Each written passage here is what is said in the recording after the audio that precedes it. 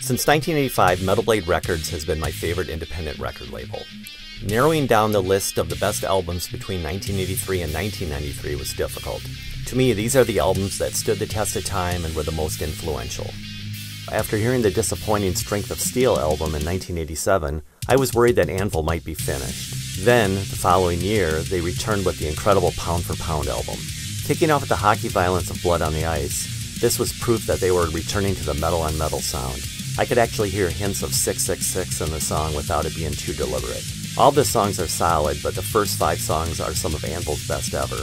The lyrics on Corporate Preacher and Safe Sex took the album up a notch. During the tour for Pound for Pound, Anvil recorded Past and Present Live, which showcases some of these great songs live. The band should have been more widely known, similar to Exodus or Armored Saint. When Lizzy Borden's Menace to Society was released in 1986, I ran across it at a flea market. I was totally unaware they even had a new album. As expected, it was a great release sporting a big league cover. Lizzy Borden were bound for arenas, but they were lost in the clubs due to a lack of financing. After Alex Nelson left, Joe Holmes joined the band. He went on to play with David Lee Roth and Ozzy Osbourne. I interviewed him in 1988. He said that he joined Lizzy Borden because the band was so guitar oriented. Menace would be the final album before commercialism truly set in for the band. Had a video accompanied this album, as well as better record store distribution, this album may have exploded. When Hold Me Up came out in 1990, I was shocked by the musical growth within the band. In a review I wrote back in 1989 for their album Jed, I mentioned that the band was a bit all over the place, making it hard to classify the group. A year later, they merged their punk background with a more refined sound that eventually made them famous. The songs There You Are and You Know What I Mean basically foreshadowed all that lied ahead, while Laughing kept the punk side alive.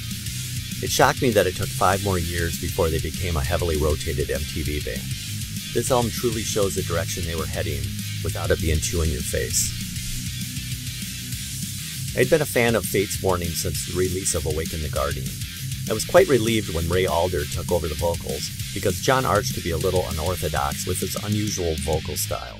While No Exit was an incredible album, Perfect Symmetry finally blessed Fates Warning with their own identity. It was still heavy but leaned into complicated rhythms and some sophistication, unlike many of their peers. Prior to Perfect Symmetry, Fates Warning were often compared to be a mixture of Iron Maiden and Queensryche. If anything, the slight change in style made me see the band as the rush of heavy metal. Ironically, if you listen to this album and then listen to Dream Theater's Images and Words, you can see that Images and Words sort of picked up where this left off, and got a ton more success. Regardless, Perfect Symmetry is an incredible album, despite the number of record sales. Nightfall by Candlemass is a doom metal classic, the equal merging of Black Sabbath and Metallica. The strong production on this album draws you in immediately. Very few records have such a great balance between the drums and the guitars. I can't think of any percussionist that had such a great snare drum sound. Even on Sad But True, Lars Ulrich came up a little short, even with all that money they had behind the production. Vocalist Messiah Marcolin takes it up a notch with his operatic vocals, looking like a cross between the Dread Pirate Roberts and the Angel of Death. Nightfall made doom metal more prominent in the scene. Sure, it had been around for years with Witchfinder General and St. Vitus, but Candlemass were better musicians and their delivery was top notch. While many bands tried to be part of that genre, no one could duplicate the Candlemass sound.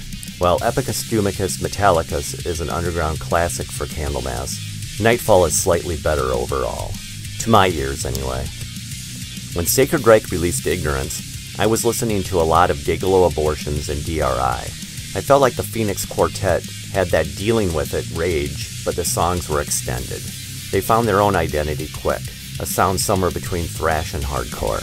More than anything, Wiley Arnett's guitar style caught my attention. You could have put him in any band, and I would have known it was his guitaring. To have such a unique style right out of the gate is very hard to do. While not as technically proficient as someone like Alex Skolnick, his opening lead in Violent Solutions may be one of the most memorable leads in thrash metal. Although Phil doesn't growl, he delivers the angriest vocal performance next to Machine Head's Burn My Eyes. Sacred Reich definitely showed their strength on this album, and the ability to play by their own rules. On Ignorance, the band caught lightning in a bottle. Heretic's Breaking Point is one of Metal Blade's finest hours. Produced by Kurt Vanderhoof of Metal Church, the songs are top notch. Ironically and sadly, Vanderhoof poached vocalist Mike Howe from Heretic and had him join Metal Church. It was a shame because Mike Howe never gave this album a chance. Shortly after Metal Church released Blessing in Disguise, I told John Sutherland at Metal Blade that if you took the best five songs off of Blessing and the best five songs from Breaking Point, you'd likely have the album of the year. This was truly a missed opportunity for Brian Korban and the rest of the band. Had Breaking Point got the chance it deserved, the band could have been at least as big as Testament or Y&T. A week after Slayer's Show No Mercy came out, I ordered it from a mail order record store in San Francisco. The odds of this album landing in Iowa during that first week wasn't worth risking.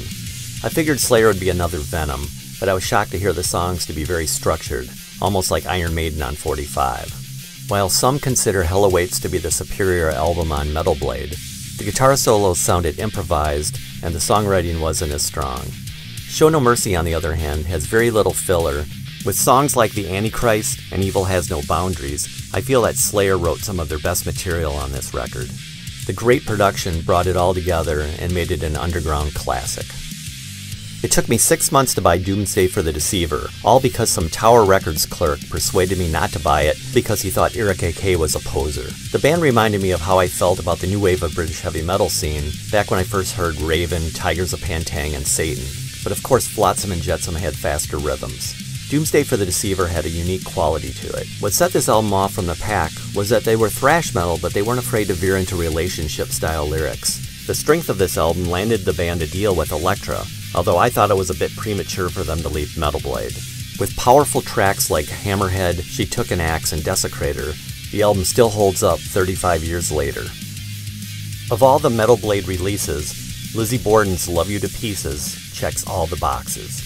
The album is solid from start to finish, with six of the songs being classics. When I first moved to Arizona, I grabbed for this cassette more often than any other that I can remember. The members of Lizzy Borden may have looked like other LA bands with the spandex and the stacked hair, but they certainly didn't write songs like the others. Songs like Psychopath and Red Rum were very European sounding. In fact, Lizzy Borden was a perfect combination of Iron Maiden and Dokken, while somehow finding their own style in that hybrid. Lizzy's voice is so original on this album. He has the power of Dickinson and Halford, but he tosses in this odd vibrato that no one has replicated since. In hindsight, I'm sure Metal Blade wishes they would have released American Metal as a video. With deeper pockets, Lizzy Borden may have been up there with Judas Priest.